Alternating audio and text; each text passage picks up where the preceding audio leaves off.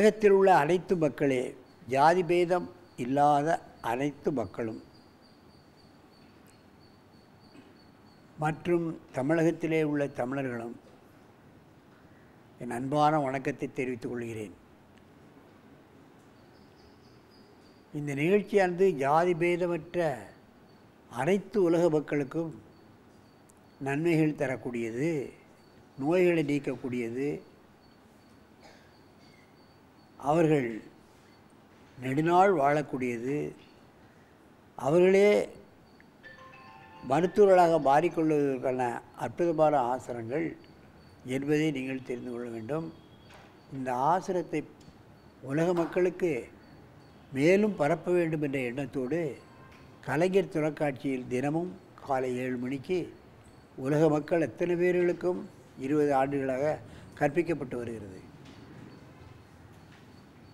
அந்த நிலையில் இன்றைக்கு பார்ப்பீர்களானால் நமது அரங்கிற்கு பரமத்தி வேலூரிலிருந்து காட்டூர் தவ மையம் மன வளர்ச்சி கலை யோகா வேலாயுதம்பாளையம்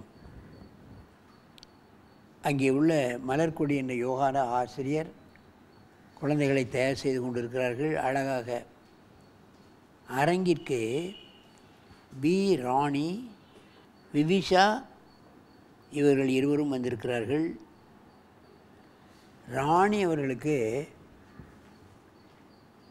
முப்பத்தோரு வயது பிபிஷா ஒன்பது வயது. கவனியுங்கள் ராணி அவர்கள் ஒரு குழந்தைக்கு தாய். அவர்களும் திருமணமாகாத சிறு குழந்தையும் விதிஷா ஒன்பது வயசு இவங்க முப்பத்தோரு வயசு.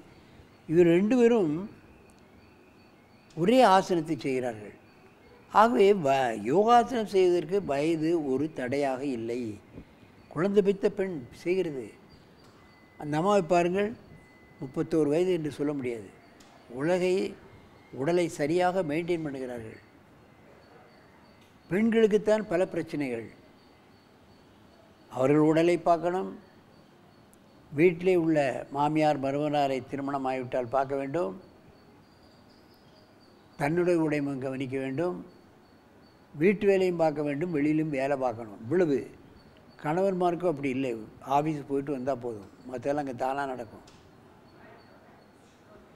சமையல் வேலையும் பண்ணணும். அந்த மாதிரியான ஒரு நிலையில் இருக்கிற காரணத்தினால் பெண்கள் கண்டிப்பாக செய்ய வேண்டும்.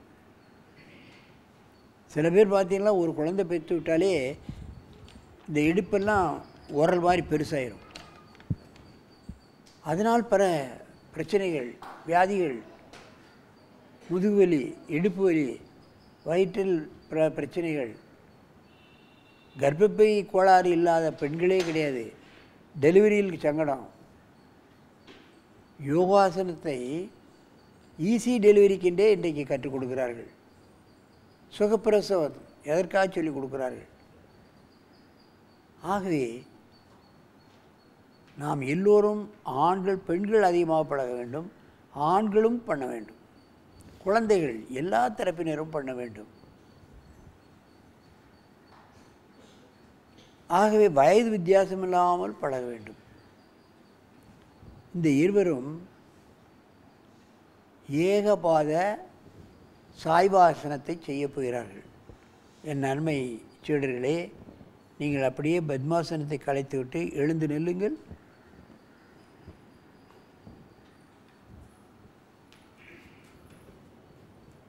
நேராக நிமிருங்கள் வலது காலை தூக்கி இடது தொடை மீது வைக்க வேண்டும்.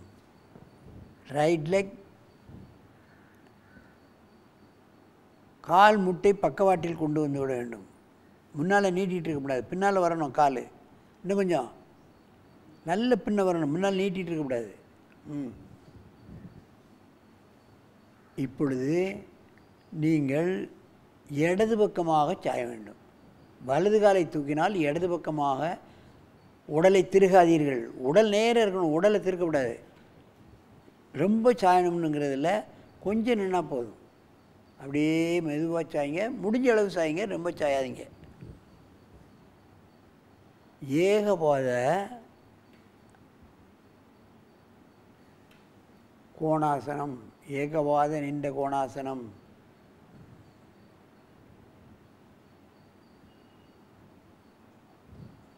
இடுப்பு உழைக்கப்படுகிறது பெண்களுக்கு இடுப்பு பெருசாகாது. இடுப்பே பெருசாகிறதே ஒரு வியாதி என்று சொல்கிறார்கள். நீ சாய முடியலன்னா நேரே நில்லு நேராக வாருங்கள். கையை கீழே போடுங்க. ரெண்டு மூச்சு வாங்கி கொள்ளுங்கள்.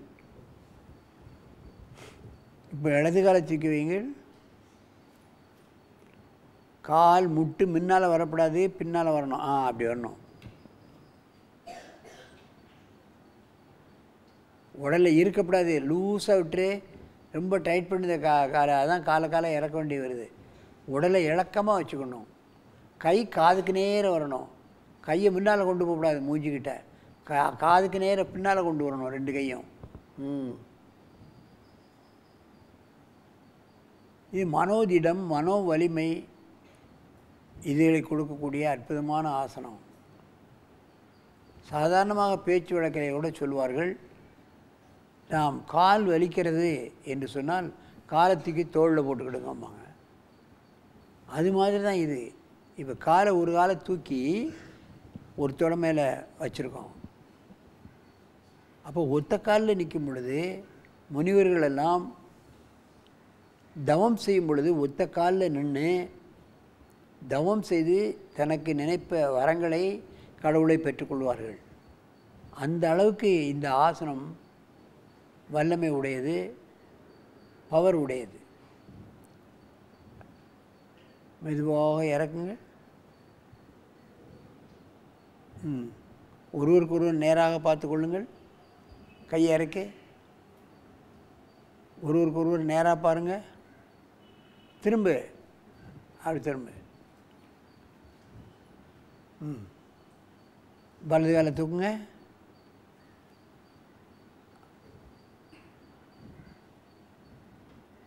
மெதுவாக இறக்கிடுங்க இறக்குங்க அப்படியே போய் பத்மாசனத்தில் உட்காருங்க அங்கே பார்க்க திரும்புங்க கேமரா பார்க்க பத்மாசனத்தில் உட்காருங்க பாருங்கள் வயது வித்தியாசம் இல்லாமல் முப்பத்தோரு வயது திருமணமான பெண்ணும் பண்ணுது இது சின்ன குழந்தை இதுவும் பண்ணுது. நான் ஏற்கனவே சொல்கிறபடி வயது ஒரு ஆசனம் செய்வதற்கு தடையாக இல்லை. சிறுவர்கள் தான் யோகாசனம் செய்யணும். வயோதிகர்கள் தான் யோகாசனம் செய்யணும். அல்லது சின்ன பிள்ளை தான் யோகாசனம் செய்யணும் கிடையாது. எந்த வயதிலும் யோகாசனங்களை செய்து தங்களுக்கு ஏற்பட்டிருக்கின்ற நோய் நோய்களை நீக்கிக்கொள்ளவும்